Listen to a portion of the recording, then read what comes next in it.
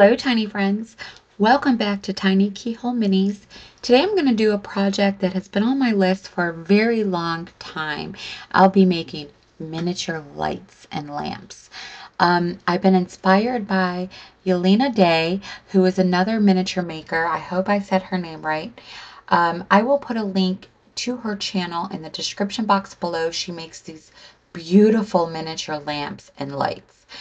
I was able to go to my local hobby store and purchase these K&S metal shapes. They're like copper straws. Uh, they're easy to bend, they're bendable and shapeable. And this is what I'll be using to actually install the wire to the lights. Um, I'm going to be talking about all this stuff as I'm working so that you can see what these things do, how they work. Um, but I purchased a few different shapes.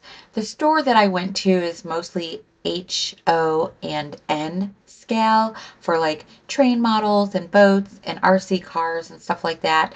But they had these and I was able to get them. Uh, they were only a few bucks a piece. I wasn't sure what size I really needed, so I purchased a few different ones so I didn't have to go back. Um, I also have some fairy lights, and someone gave me a box of these. These are just battery operated. Tiny Friends, you can cut these into pieces and cut the lights off of them and use them in the same manner that I'm going to be doing today. And uh, when you cut them off, they look like this. Now the chip has a coating over it. I'm not sure if it's a resin or hot glue, but it is definitely coated over the chip. Um, I purchased these wired lights. Uh, these are also called nano chip lights. I purchased a few different colors and sizes off of Temu. This is what they look like.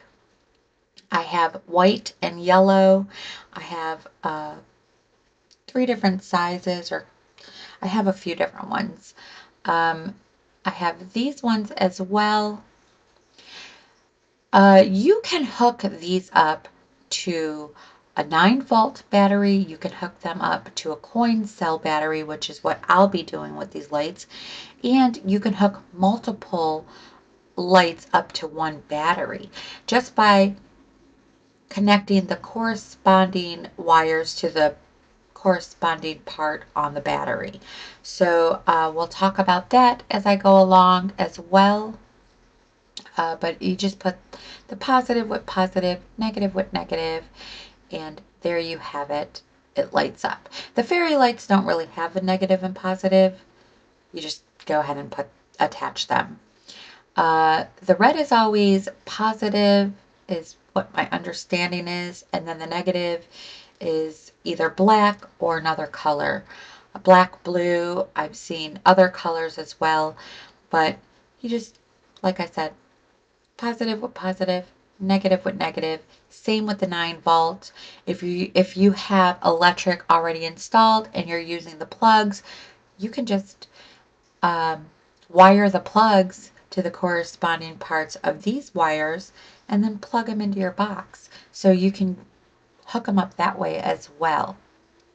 I'm going to be going over a website that uh, also sells these chip lights, these nano lights, and they also sell connectors and switches and battery holders.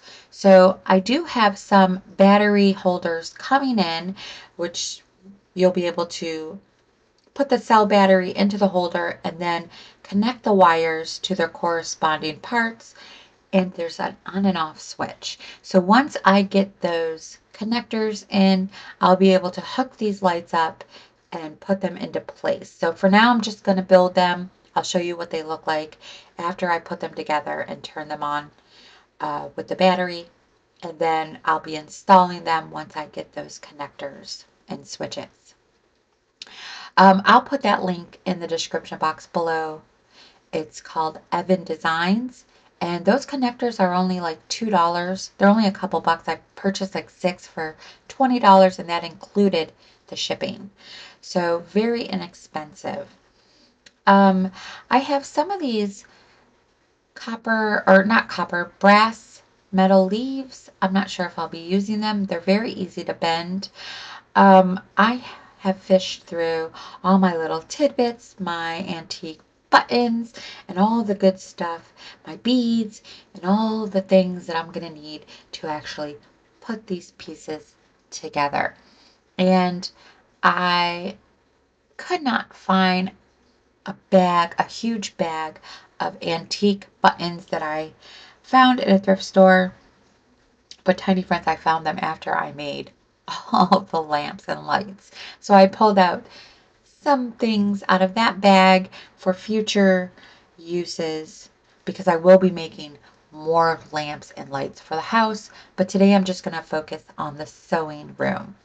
So I'll be making three lights and I'll be revamping one lamp that I purchased from a miniature store.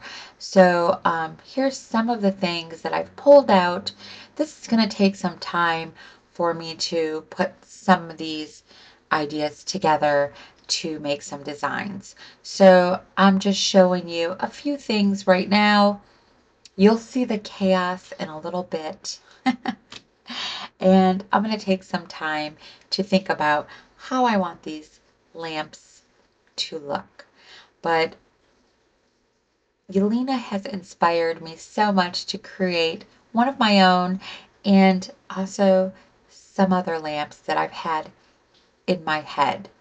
So we'll talk about everything that I'm working with, how everything works, what you can do, and go from there. I know um, her videos are really great, but she's not explaining what she's doing. She's working with music in the background. Um, her lamps are gorgeous, beautiful pieces. I did ask her what she used to hook the wires up. She told me she used the coin cell batteries. Uh, the coin cell batteries I'm using today are 3 volt. They're 20, let's see, they are 2032, but there's lots of different sizes. But these are the ones that were recommended on the website Evan Designs that I purchased the connectors to. Uh, there's lots of different numbers. I'm not sure what the differences are, but you can use a 3 volt, you can use a 9 volt, 12 volt. Uh, these nano chip lights uh, can go to higher volts as well. And like I said, you can hook multiple lights to one battery. So uh, that's pretty cool if you're if your wires are long enough where you can spread them around. Um, I'm unfortunately going to be needing separate batteries because my wires are not as long. I don't know. We'll see when I install. The wires that I purchased, the connectors and the holders are 8 inch wires. You can get 4 inch wires for the same price. And you can also get extension pieces for a dollar more that will make your cord even longer. Okay, so here are some of the antique buttons that I've been collecting over time. Um, I, like I said, I have a huge bag that I couldn't find, but I do have now. And I also found my seed beads that I was looking for while I'm on the subject of missing things. Um, I just place things when I clean up and I forget where I place them. So um, if I'm not using them on the regular. I forget where they are. Um, but here are some of the buttons. Uh, I just, I love collecting antique metal buttons or vintage buttons. They make great bases for lamps and ashtrays, standing ashtrays. I've used them for in the past, uh, which I might do a video on how I made my antique retro or vintage retro ashtrays, the standing ones. Um, that used to be in every household, but I used these buttons. This button is the only one I have in here, and it's, I can't tell if it's from the 60s or the 40s or something like that, but it's got a woman's head on it, and she looks like she's either from the 60s or maybe possibly from the 40s. I love this button. It kind of reminds me of a Scooby-Doo, one of the girls from Scooby-Doo, uh, but it is the only one I have that came in one of these bags that I purchased. Um, but again, this is just some of the chaos that goes along with creating these miniature lamps that I'm going to build. Uh, so I'm going to move on and begin this process because it's going to get pretty chaotic and you will see what I mean. Okay, so I have already shaped this one, but I'm going to show you uh, a little bit later how you can do that. I just used a handle to one of my cutters, the one that looks like the screwdriver there in red. Um, I'm using the smallest shape that I have, the smallest tube. This one is actually 1.57 millimeters. So 1.57 or 1.57, however you want to say it, millimeters. It's number 8125 on the package. And this is the smallest one that I purchased. And right now I'm just playing with some ideas, trying to get, a, you know, a direction to go in. And I think I'm headed on I'm headed I'm headed to a good start. Uh, I am definitely going to use these beads on this one. This is the lamp that was inspired by Yelena's, um, but I am going to build some of my own that have been in my head that I've been wanting to do. Um, so this is going to be kind of like a tulip lamp. Um, I do have a tulip lamp that I purchased from the miniature store, and you'll see that in a little bit. But this is some of the chaos. It gets worse, but this is some of it. And uh, it is very hard to come up with some designs when I have this many and more pieces to uh, look through and pick up. So it can get really difficult um, especially because I don't have some of the tinier bead spacers that I would like to have because I've used them on other projects in the past. Uh, but um, here is the wire, and right now I'm just playing around. I'm going to fish it through uh, the tube to see how it kind of goes together. So right now I'm just twisting the ends together so that I can put it through some of these pieces. Now this is a piece that I purchased specifically to create a lamp, these beads here, these metal beads. Um, I purchased off of Temu and I won't be able to use these today for the pieces that I'll be making, but possibly in the future, I think they may be more sufficient to use as some sort of hanging lamps. Um, so Maybe later on I can use these pieces for those. But right now you see me just trying to figure out how I want the lamp to look, putting pieces together to see what will look right.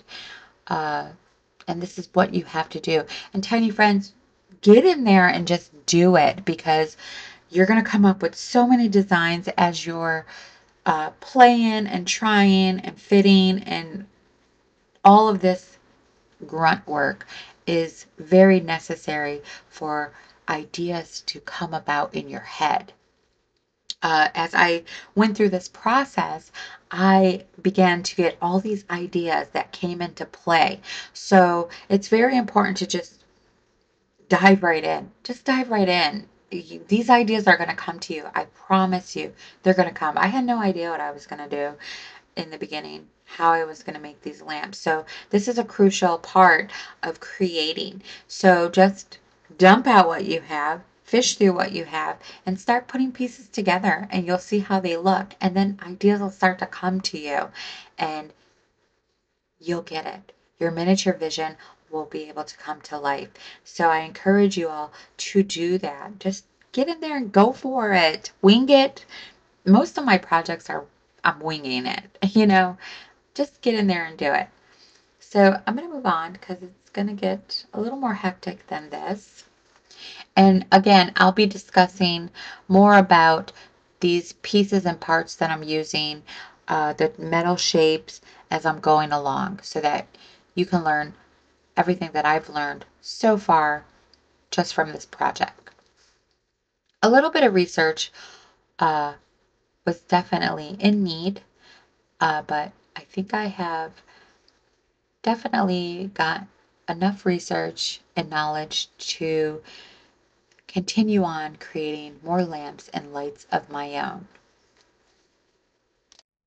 Okay, so I have cut this tube with my wire cutters. Now you can cut them different ways. There's a tool that K&S uh, puts out that you can use. You can use a razor saw. I just used my cutters and what happens is the end will pinch close. And I freaked out a little bit. I had no idea how I was going to cut these without pinching those ends closed. But then I started sanding the end. So you can see here, I'm just sanding the end and the opening started to come too. So you can use wire cutters. Go ahead, cut your pieces with the wire cutters and then take a little file or a high grit sand paper or block and start sanding that end. Sand the sides around it to get those sharp points off and your opening will come back. So no worries, no need to panic like I did. Um, I thought for sure this was a lost cause. I was going to have to purchase an additional tool. And I just started sanding to say, hey, let's see what happens. So you can sand these copper tubes and you can see the hole is right back. So I thought, oh my gosh, I had a breakthrough. I can proceed with this project without have, having to purchase additional tools. So that was one key point that I've learned creating these lamps and working with these metal shapes. Um, so I'm again just try fitting and I'm still trying to use that metal uh, bead. I really want to use that so bad, but I decided later on I will probably be able to use those as hanging lights or some sort. Okay, so these are the cheap flimsy lights I purchased off of Temu. And uh, these are really small. They're they would make really great lights for a bathroom or a hallway, um, but definitely on the wall. Uh, I'm just lighting it up. You can light these lights up in the same manner. You can hook them up to a coin cell. You can hook them up to a 9 volt. You can wire them up to a plug if you have an electrical box for your house and then plug in the plug to the box. Um, but I'm just showing you that if you purchase lights off of Temu, you can hook them up in the same way. Uh, right now I was thinking, maybe I'll just take off the tulip shade off of this light and use it on my lamp. And then I remembered I had an extra tulip shade. It's a frosted glass one that I took off of a lamp that actually uh, went to the wall sconce with the bare bulb that I have on the wall in the sewing room next to the closet. I will not be lighting that light up. Uh, that light was just put up on the wall for decor. But I have that tulip lampshade, so I will be using that. So I'm going to get that out. Okay, so I pulled out the frosted glass tulip shade and I also pulled out the lamp or the tulip lamp that I purchased. This is the tulip lamp. It's a battery operated. You can see it's got the little switch that turns it on and off. And I'm just going to add a few pieces to this. I'm going to add some leaves and a pull chain. So uh, that's all this little light will need. Uh, but going back to the one I'm working on, I couldn't believe I forgot I had this. Um, so this is the piece I'll be using. And right now I'm just trying to figure out what I'm going to do with it, how I'm going to make it look, what am I going to put on it, uh, how am I going to do this, right? That's all part of the game.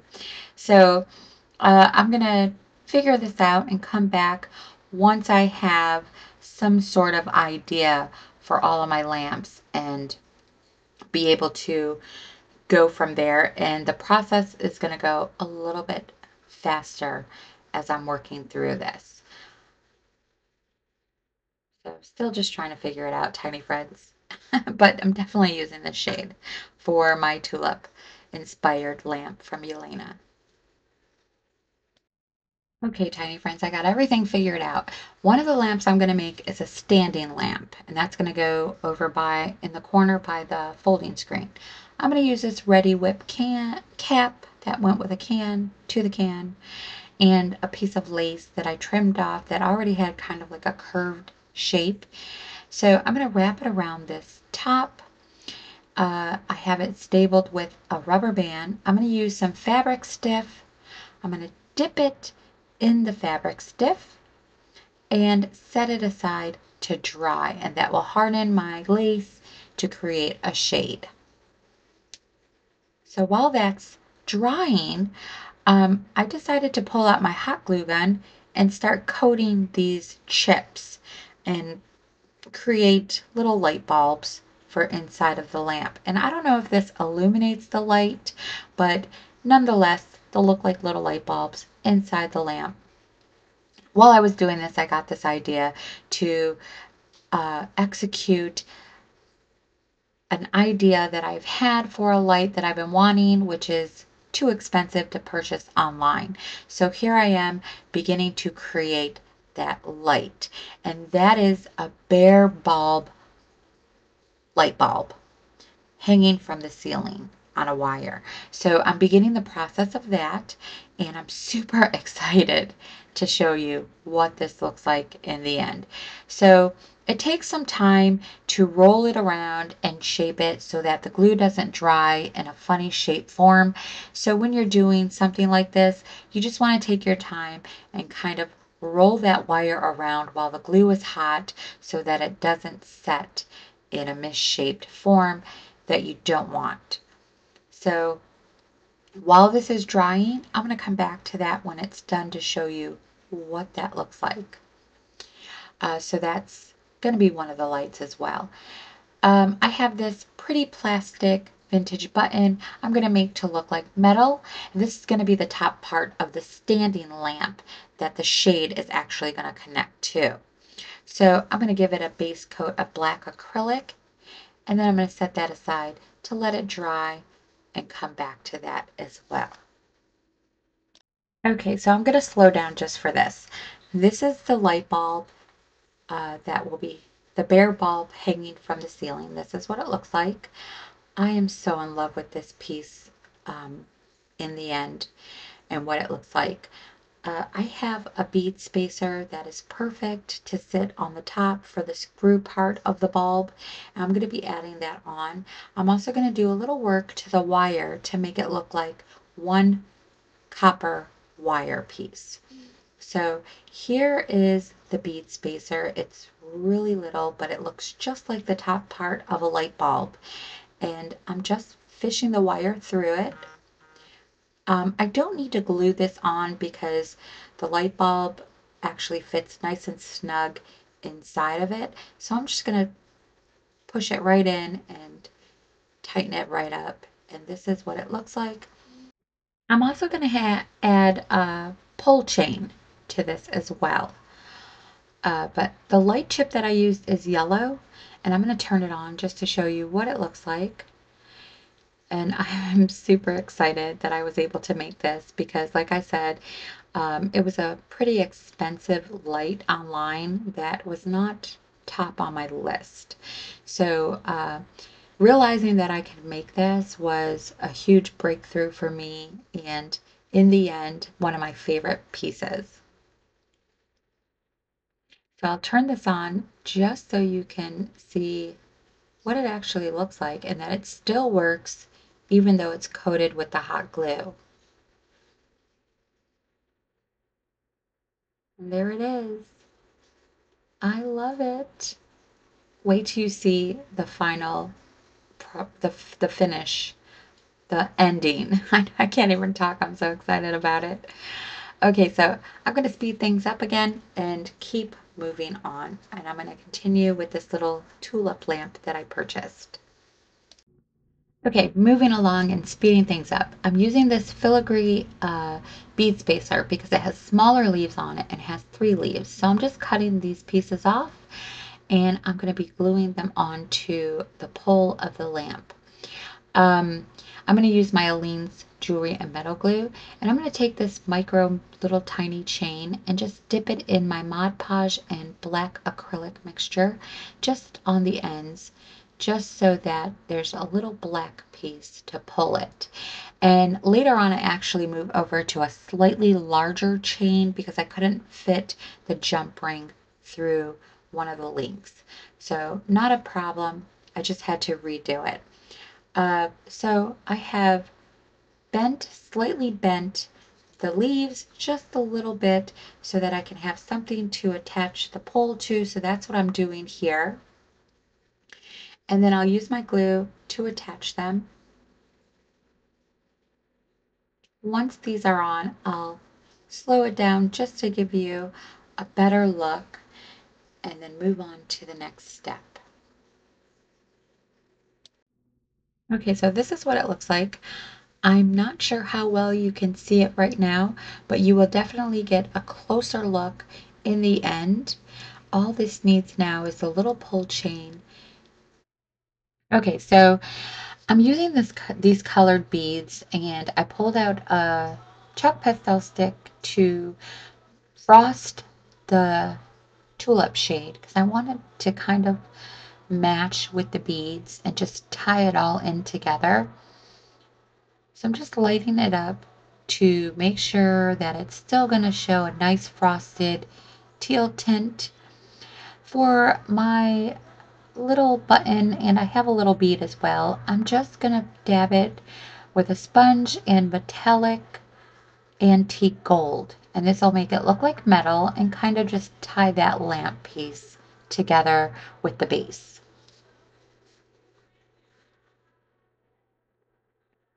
I know I'm zooming super fast.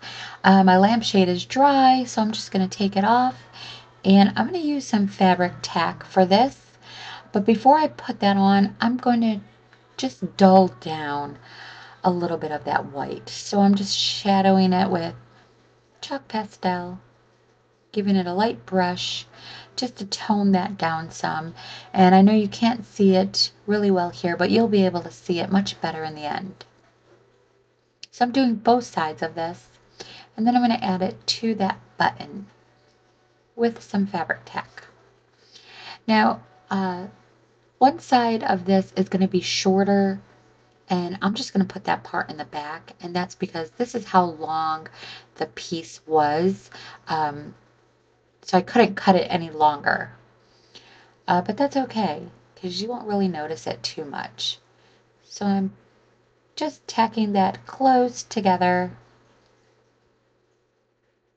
And now I have a lampshade. Um, I'm going to add some trim to this later on just to complete the look. I'm going to glue this little bead right on top.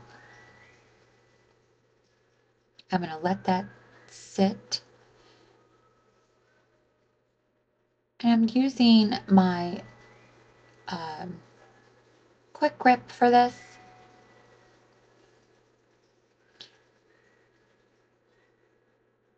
So that's what the top shade will look like. Okay, I'm slowing this down again just to talk a little bit more about these metal shapes.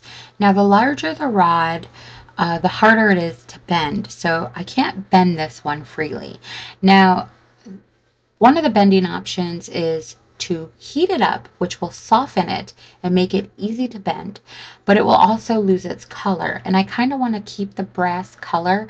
Uh, it will end up changing black and blue, and I don't want to lose the color. So I decided to take a smaller piece, shape it like the hook, and just slide it inside. And that works out perfectly. So I already started uh, bending this one. This is the smallest one. And I just wanted to show you what I was doing. So I'm here I am out of the frame, right? but I used my handle for my craft knife and I just bent it around that. Now I'm doing some damage control because when I first began to bend this, it didn't come out as smooth. So it's got a few dents and looks a little bit jacked up, like it's been banged around, which probably wouldn't be too bad since everything in the Josephine house is pretty old. But I want this to be as smooth as I can get it. So I'm going to work on this, but I'm going to go back to a fast mode. Okay, so to begin with, I'm just going to thread the wire through the top part and then through the rod. And um, it's not that difficult. I'm going to glue the bead to the rod and then I'm going to begin building the base. And I'm starting with the smallest bead and I'm going down. Um, I want the beads to line up with the bottom of the rod. I don't want the rod to poke through any further because I'll be using buttons and I can't have that rod sticking out because it just won't sit right with the buttons. Now for the buttons, I'm taking the wires and I am threading them through uh, two separate holes but the holes that are diagonal with each other and this will allow it to have a better balance and then I'm gluing them together. Now I'm moving on to the tulip lamp and I'm going so fast that I can't even keep up with my words. But I'm beginning to glue the beads on so they look like this. And now I will thread the wires through the top part, the little base that's going to hold the tulip shade. I'm creating that with two bead spacers feeding the wire through that little base and then through the rod. Now I can glue the tulip shade onto the little base that will actually hold the shade. So this is what it's beginning to look like. And I'm just pulling that light through a little bit more so it's not hanging out of the shade. And now I'm going to begin to add the base and I'm going to do the same thing with the buttons here. When I thread the wires through the button, they'll be in their individual hole and the holes will be kitty corner from each other or diagonal from each other. And I just found that this gives it a better balance for the wires and the whole stand itself. So making sure that they're diagonal from each other and they're in their separate holes. I'm gluing these pieces together. Now I can add this button the way I explained it.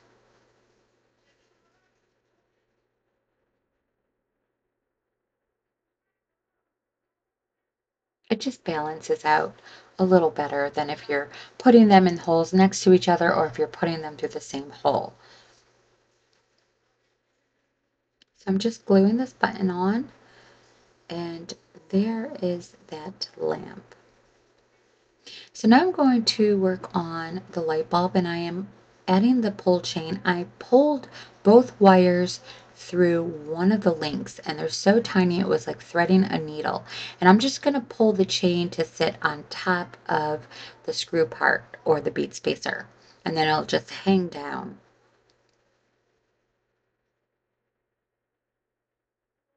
And then I'm going to dip the end. After I cut the chain to the length I need it, I'll just dip the end. Now I pulled out my uh, silicone molds because I want to use, well, I'm not sure if I'm going to, but I'm thinking about creating some sort of base to sit on the ceiling that the light comes through. And I haven't made up my mind on which one I want. So I'm going to do two different ones and see how they work out. So that's all I'm doing here. I'm using my DAS air dry clay.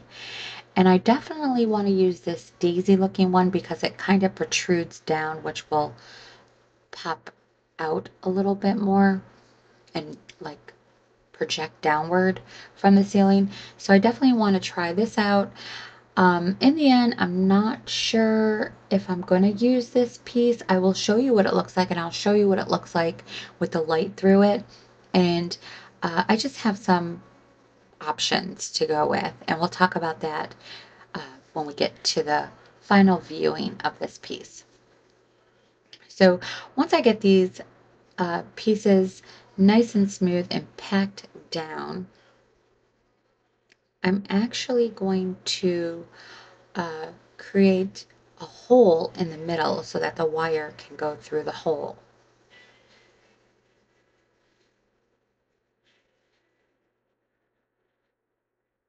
So this is what I'm doing. I am creating a little hole right in the middle all the way through to the other side and this will allow the wire to go through and then I'm also creating some sort of little uh, I don't even know what to call this but this will be so that the wires can lay through them and not on top of the piece so it kind of actually fits inside so it can lay flush to the top of the ceiling.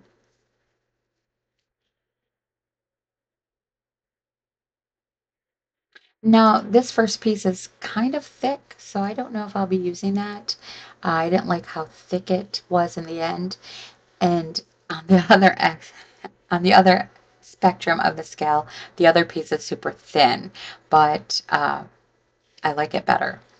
So now I am coating the two wires. Now this is the hanging light, the bare bulb, and I am coating the two wires with Mod Podge. This will help them keep them together and make it look like one cord. And then I'm going to paint them with copper paint to make them look like a copper wire, which will kind of uh, resemble the wire that I have attached to the wall sconce that's sitting next to the closet door already. So it'll kind of uh, go along with the wiring from them days. So after that Mod Podge is dried and I gave it two coats of Mod Podge and I just took my time to try and keep it nice and smooth so it's not very lumpy and uneven. And now I'm just painting it with the Folk Art Metallic Antique Copper and uh, let this dry as well.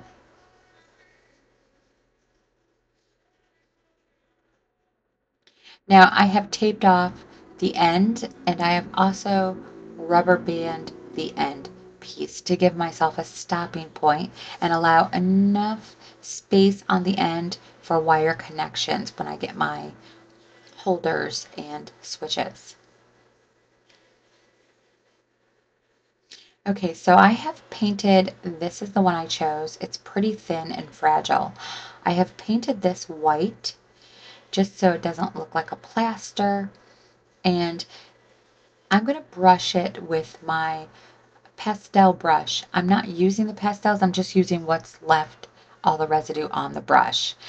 Um, so I'm just going to brush it just to bring out some of that detail, give it a little bit more age so it's not just the flat white. It'll give it some dimension and just complete this little piece. So you won't be able to see it much now, but in the end, you will be able to see, see it very well. Okay, when the copper paint was dried, I also gave that wire a wash with black acrylic and water just to age it up a little bit so it doesn't look brand new. Um, I'm trying to show you what this looks like. I'm not sure that you can see it very well, but again, you'll get a better view and be able to see that, all that detail and that shading that I just did in the end. Right now I'm going to fish the wire through the hole just to get an idea of what this is going to look like if I choose to use this piece. So I'm going to show you what it looks like and uh, give the light a go and see how that looks. So it'll lay in that little groove that I made so that it lays flat along the ceiling and this is what it looks like the little pull chain is completed. Uh, it's actually bendable, so I can shape the wire if I'd like to. And I absolutely love this piece, Tiny Friends. This is exactly what my vision looked like for that room. I knew I wanted a bare bulb light. Okay, so Tiny Friends, the final results are in. This is the standing lamp. Now, two things. I did not add a switch or a pull chain to this light. Um, so I feel like I need to do that to make it look complete. I feel like it needs a pull chain somewhere from the top. So I'm going to add that. Um, and you'll see that when I hook these up to the connectors, you'll see that piece on there in the end. I did add some trimming around the top part I'm still not sure how I feel about that yet. but overall, I love this standing lamp. Uh, this will go in the back corner to light up the area behind the folding screen. So when Margot or anybody is standing behind the folding screen, they'll have some light as they're changing or getting dressed or whatever the case may be. So you can see the detail on the base with the beads that I used and I actually just flipped the button over for this one. It's the same button that I used on the tulip lamp but I just flipped it over. I feel like it needs a bigger base but uh, like I said at the at this time I, I forgot about that bag, that huge bag of buttons. So I just used the biggest ones I had. Uh, now I did not add a switch or a chain to this lamp either and I feel like um, I'm not sure if I'm going to do that or not. Um, I'm still thinking about that, but that's what it looks like. This is what the little tulip light looks like that I purchased with the leaves on it. The leaves do have a textured design, a textured design on it. And I'm just giving you a look at that. I hope you all enjoyed this video today, tiny friends. If you have, please let me know what you thought in the comments below. Don't be afraid to give this a try. Ask me any questions you would like. If uh, you needed more information on any of this uh, stuff that has anything to do with this project. Um, thank you all for subscribing. Don't forget to hit that like and that top bell notification button. Give it a thumbs up and I want to thank you all so much for being here with me today. This is the top piece. You can see the detail better and where I've brushed it with the chalk pastels. Now, if I want to use this, I was thinking I don't really want that cord to come out, sticking out of the side. So I was thinking that I might just drill a hole in the ceiling through to the attic, leave the battery up in the attic, and then just place a box on top of that or over it so that I can change it out when I need to and also disguise it. Uh, because it's the attic, you can have a box lying anywhere. Um, so that was one of the options I was thinking about that I came up with and I hadn't come up with anything else yet. So if I decide to use this piece in the room, that's exactly what I'm probably going to end up doing. But all these lights will be placed in that back room because Margot will need plenty of light back there. This was a very inexpensive way to create your own lights and lamps for your miniature scenes. I want to thank you all once again for watching. And don't forget to hit that like button, give it a thumbs up, let me know in the comments below. Hit that top bell notification button to be notified every time I upload a new project. Our new edition will be here in a few weeks, so we have been preparing for that. And until next time, tiny friends, you all have a lovely day, and I will see you all on the mini side.